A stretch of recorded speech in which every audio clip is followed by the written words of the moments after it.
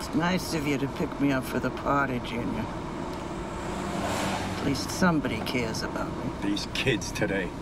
I suppose he thinks once he's got me locked in a nursing home, I'll die faster. And then he won't have to drive me anywhere.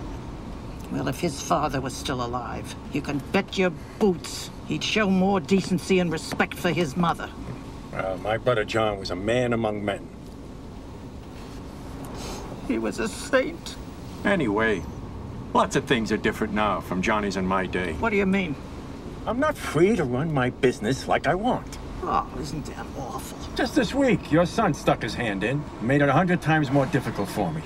Plus, he thumbs his nose at New York. Oh, What are you gonna do? He's part of a whole generation. You remember the crazy hair? And the dope? Now it's fags in the military. stop it, Junior. You're making me very upset. I don't like to live here, but I'm agita all the time. And I'll tell you something else. Things are down, all across the board. A lot of friends of ours are complaining. We used to be recession-proof. No more.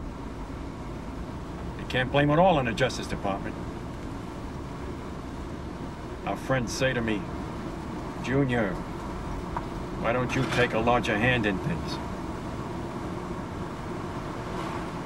Something may have to be done, Livia, about Tony. I don't know.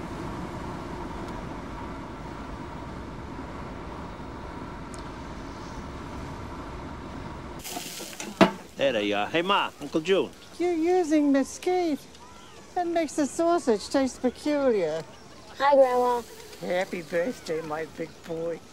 Carmela, my mother's here. Everybody, let's eat! I wanted to open my present first.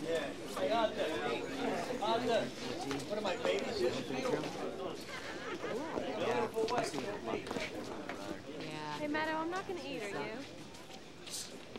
you?